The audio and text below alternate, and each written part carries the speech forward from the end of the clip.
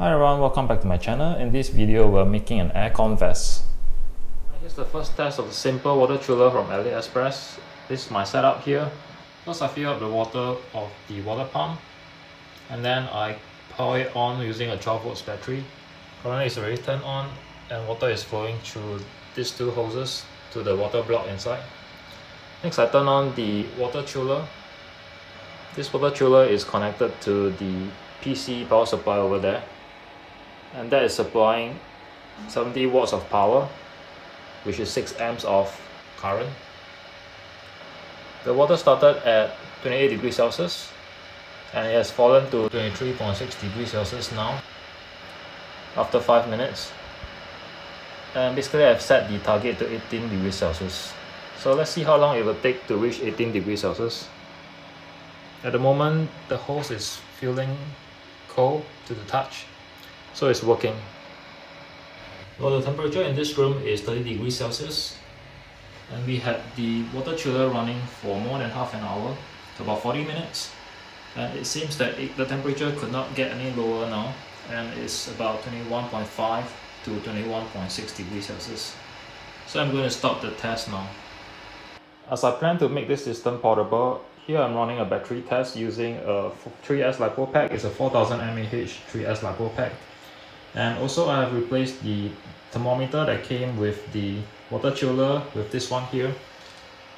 It's a thermometer built into the cap so it's really neat. So let us run the battery for a while to see how long that will last. After 35 minutes of runtime the battery gets pretty warm so I've disconnected it and measured its voltage. This cell is still more than 3.3 volts which is great. So it's drained to about 9% so if I have two of these batteries hook up to the wire harness over there, I should get one hour of runtime. In order to keep the cost low for the DIY cooling vest, I went online and found myself this good looking outdoor vest.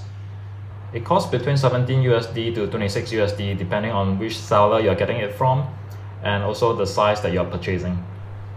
Well, besides getting the vest, I've also purchased these tubes here this is an 8mm inner diameter tube that will connect to the water pump as well as the water chiller, but it's too thick to be used for carrying ice water on the vest itself. So I've gotten this thin 4mm inner diameter rubber tube. This is pretty thin, it is slightly thicker than the tubes used in the commercial liquid cooling vest, but it will work.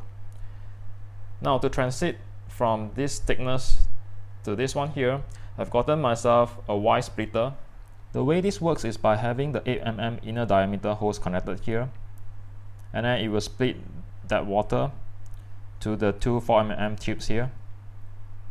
So this will be the inlet that carries the cold water from the water chiller to the vest and I will have another identical set like this which is for the outlet. In this shot you can see the draft layout of the rubber tubing on the vest and here I'm taping the tubing to the vest to hold them in place before finally sewing them to the vest.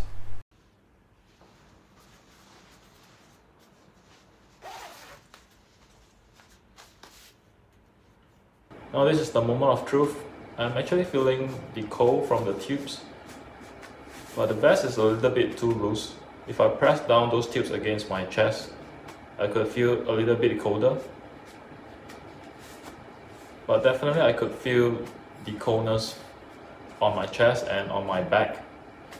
So yeah, this is really working. In this setup, I have the water pump secured to the water chiller using this mounting plate behind. So it's not moving anywhere. I may be attaching straps on the sides so that I could hand carry it. I Imagine if I mount this on my back, I would look like Ghostbusters. So that would be pretty hilarious. So the water has cooled down quite a bit from the room temperature of 29 degrees Celsius to about 24 degrees, 24.1 degrees Celsius. And it's actually pretty cooling to wear. After wearing the vest for about 15 minutes, the temperature of the water has risen to 25.5 degrees which is not too bad. And by the way, I have a control valve here to control the flow rate. Currently the flow rate is set to 100%. And also I have this quick release system so that I could press the button to detach the tubes from my vest. So that's about a 3 degrees Celsius drop in temperature from the room temperature of 29 degrees Celsius. Here's the entire system mounted on my bicycle. You can see the water chiller and the batteries as well as the cooling vest.